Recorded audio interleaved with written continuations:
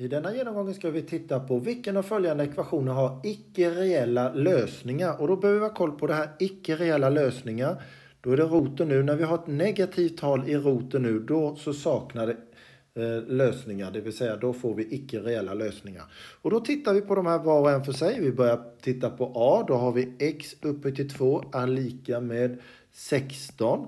För att få bort upphöjt till 2 så tar vi plus minus roten ur 16. Det vill säga vi får plus minus 4, så den funkar. Den har reella lösningar. B, då har vi x upphöjt till 2 plus 6 som är lika med eh, 0. Och då måste vi först flytta över minus, eller plus 6 och då tar vi balansmetoden.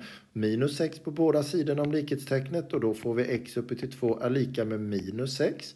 Och sen så måste vi ta roten ur för att få bort upphöjt till 2 och då får vi en minus 6 här och det får vi inte ha. Så fort vi får en negativt tal ur roten ur då så saknade reella lösningar. Vi tittar på C, x upphöjt till 2 är lika med 0.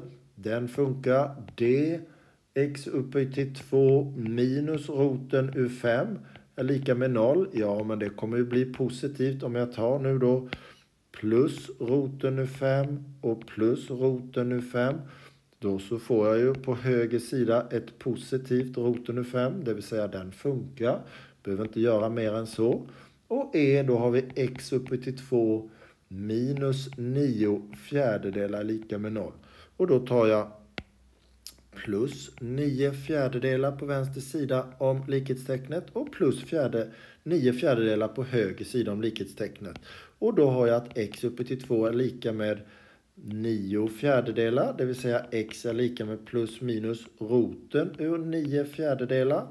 Och detta är ju lika med 9, roten ur 9 är en trea och roten ur 4 är en tvåa. Så där har vi reella lösningar. Så det är enbart den här som ger icke reella lösningar.